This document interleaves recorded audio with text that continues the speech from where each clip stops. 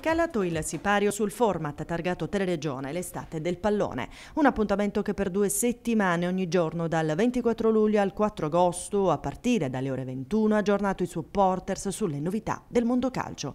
Vagliati i contatti, analizzate le formazioni delle differenti compagini, seguita l'importante fase di preparazione atletico-tattica dei sodalizi del nostro territorio che step by step si apprestano a vivere una prossima stagione calcistica da protagonisti.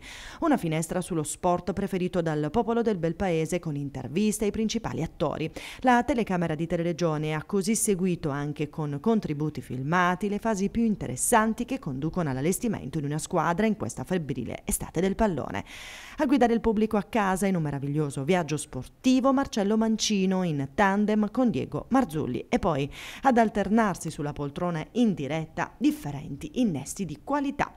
Un appuntamento in prima serata che come sempre ha dato ampio spazio alle opinioni degli amici a casa casa che grazie alla voce della bella Laura Daphne Pellegrino si sono resi protagonisti e poi successo anche in diretta su Facebook e YouTube. Spenti i riflettori del fresco ed estivo format l'estate del pallone, ora Teleregione in pieno fermento con tante novità in cantiere perché si sa il calcio fa bene alla salute.